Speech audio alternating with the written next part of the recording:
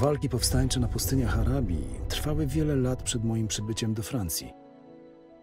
Zjednoczone plemiona Beduinów walczyły w wojnie, która bardzo różniła się od walk toczonych w okopach.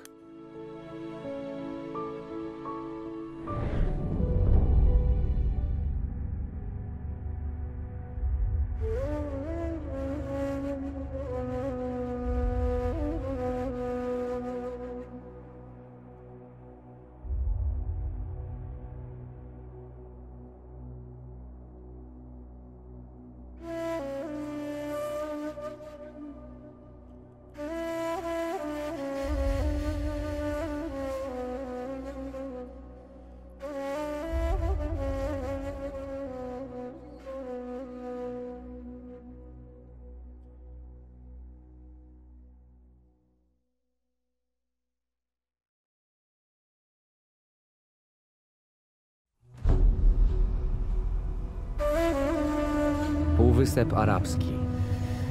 Przepastny ocean piasku i spalonych gorącym słońcem skał. A pod bezkresnymi wydmami ropa, czarne złoto, krew i życie nowego mechanicznego stulecia.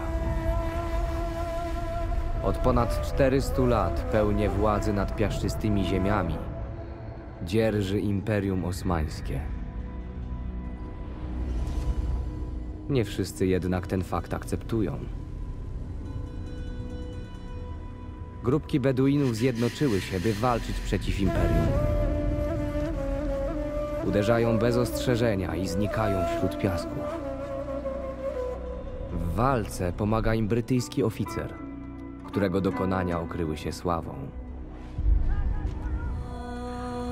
Dziś znany jest światu jako Lorenz z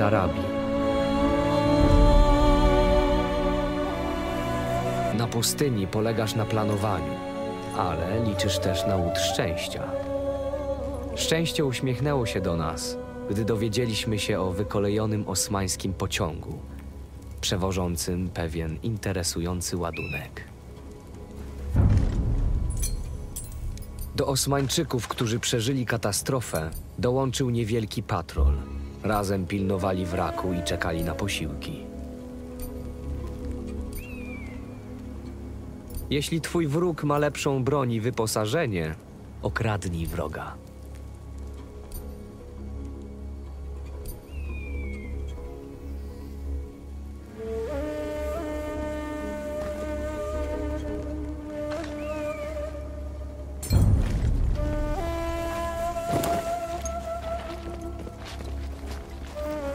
Samotny wojownik ma nad oddziałem jedną przewagę. Może przemieszczać się niezauważenie.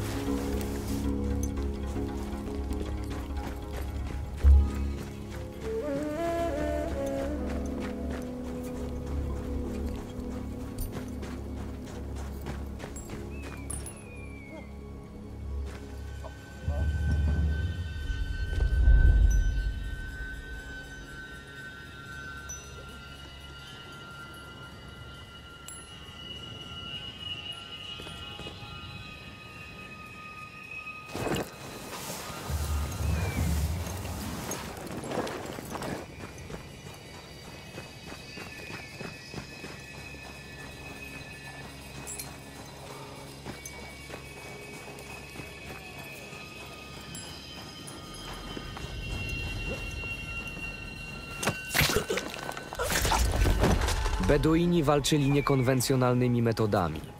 Bronią, którą dobrze znali. Ich najważniejszymi atutami były wytrwałość, inteligencja i odwaga.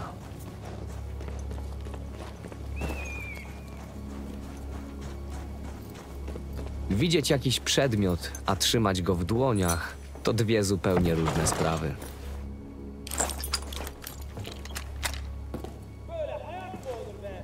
Zaten kabak hep benim başıma patlıyor. İşin gücün kaygılanmak.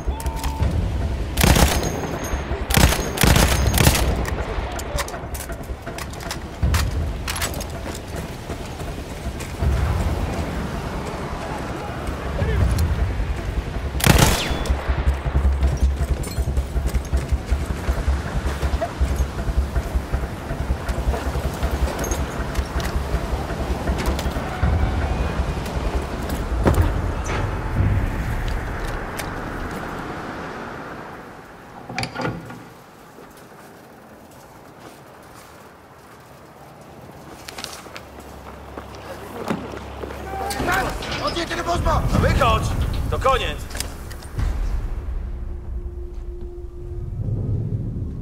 Pewnie sobie myślałeś, że nie będziemy wystarczająco dobrzy, by cię dopaść. Lorenz się zarabi.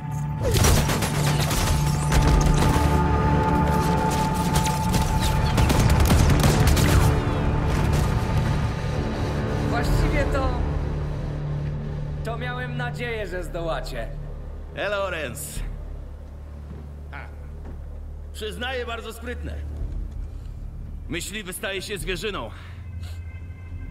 A ty kim jesteś? Urocza jesteś, moja droga. Ahmed, Urocza. Gdyby nie tacy jak ty, byłabym wolna. Wolna, tak? Wolna będziesz po śmierci. I śpieszę ci donieść, że Imperium zamierza spełnić twoje życzenie. I to szybko. Stalowy potwór przemierza te pustynie, niszcząc waszych sojuszników, wasze rodziny, wasze domy. Już nie ukryjecie się przed nami!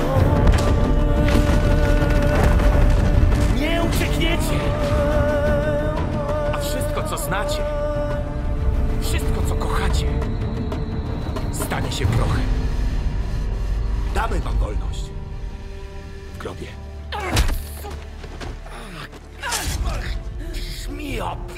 Saro.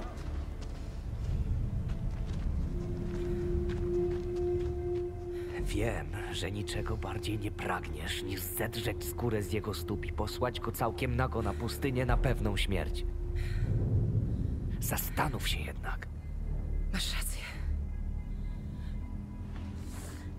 Przepraszam, wybacz mojej porywczej przyjaciółce.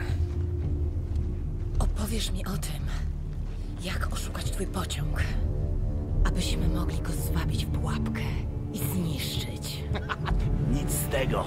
Nawiązanie łączności z pociągiem jest niestety nieosiągalne bez specjalnej książki szyfrów. O, na przykład takie jak ta? Nie uda wam się powstrzymać rozwoju techniki!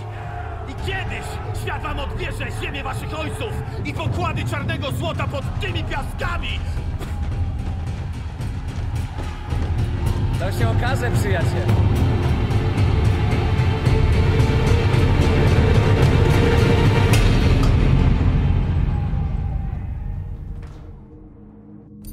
Samo zdobycie książki szyfrów oczywiście nie wystarczyło. Aby zniszczyć żelaznego smoka Kanawara, jak nazywali go Osmańczycy, musieliśmy wysłać do jego załogi trzy zaszyfrowane wiadomości z rozkazem odwrotu. Wzdłuż torów kolejowych rozrzucone były osmańskie posterunki. Ich dowódcy mieli tulejki meldunkowe na ważne wiadomości. Musieliśmy ich użyć do wysłania rozkazów. W przeciwnym razie pociąg by je zignorował. Przeniknięcie do wioski nie było łatwym zadaniem. Okupował ją bowiem oddział osmańskich żołnierzy. Osmańczycy założyli w odległym zakątku pustyni posterunek. Jest słabo broniony, ale pełen broni i pojazdów. Najwyraźniej nie spodziewają się ataku. Wyposażenie może się przydać, o ile zechcesz go użyć. Prastare ruiny były jedynym śladem istnienia dawno zapomnianej cywilizacji. Osmańczycy zapełnili je nowoczesnymi pojazdami pancernymi i działami. Zlikwidować trzech dowódców, przejąć trzy tulejki meldunkowe i wysłać w nich fałszywe rozkazy. Tylko od Zary zależało, jak wykona tę niebezpieczną, ryzykowną misję.